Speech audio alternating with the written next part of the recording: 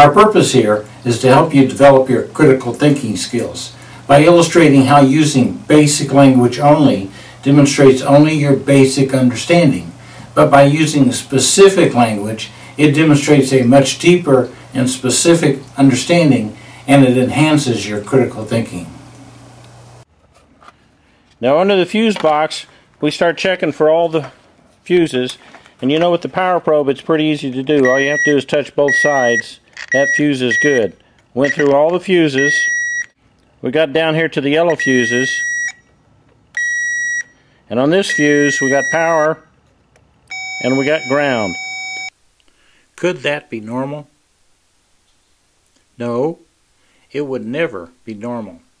On a fuse, you should have the same either power on both sides or ground on both sides, depending on whether or not it's a power or ground fuse. But in this case, we have power on one side and ground on the other. That's an indication that that fuse is blown. Pretty basic, right? But being basic doesn't prove anything. So we pull that out, and sure enough, our fuse is blown. This is a visual confirmation, not proof. If you've ever talked with a doctor about a specific issue, you'll recall how they use specific words and phrases. And because of that, you have a high degree of understanding of what the issue is, as well as a high confidence level in their recommendations. Your doctor would never say, basically you have a twisted ankle. Instead they might say, well the x-rays show that you have no fracture, but the ligaments on the posterior side of your tibiofibular or your ankle bones are torn. Now if we are testing one fuse and we're going to use a power probe tool, you'll look and you'll see that you have a red light on one side of the fuse and you have a green light on the other side of the fuse. Now what exactly does that mean? The fuse is blown, right? Well, is that enough? Let's prove it with the diagram. Here is a typical basic diagram with a fuse, an open switch, and a load. Now here we've colored the ground path green. Now don't forget about continuity. Good loads have continuity. If you haven't done so already, you may want to watch my video on continuity where we learn that continuity means whatever comes to it passes right through it. So, since ground comes to the load, the ground will pass right through it. Now let's color the power side red. and the power will stop at an open. Now, increasing your critical skills and your critical thinking is always our goal, so let's test your knowledge. If you tested each side of the fuse, what color would they be and why?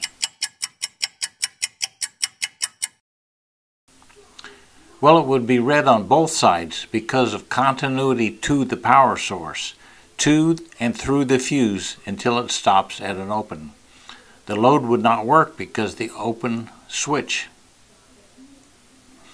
Now back to our basic diagram. What if the switch were closed?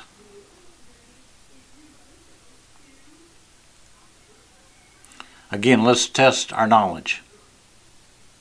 If you tested each side of the fuse at this point, what color would they be and why?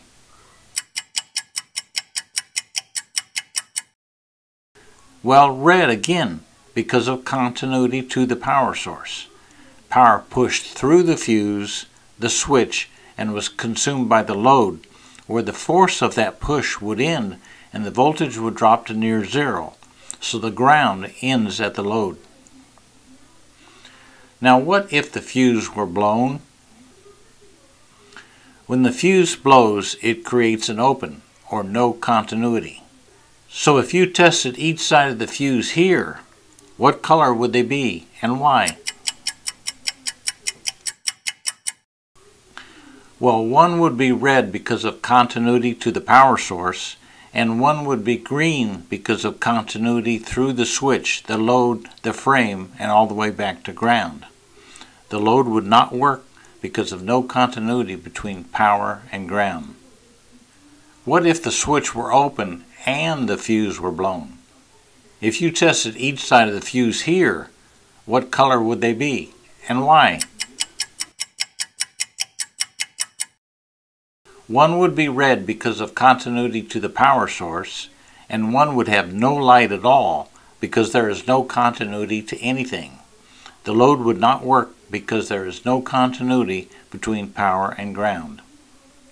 Now what if the control or the switch was on the ground side of the diagram? Well, it would have no effect on the fuse because changing the position of the items downstream from the fuse would have no effect on the continuity of the fuse. Just like doctors use specific language to demonstrate their critical thinking and understanding of their field, we need to develop specific language that demonstrates our critical thinking and how well we understand our field. So, is it enough just to say, basically the fuse is blown, or more specifically, it is an open circuit due to the loss of continuity? Are they the same? Well, which person would you rather have working on your vehicle? Always remember the three B's. Be better than basic.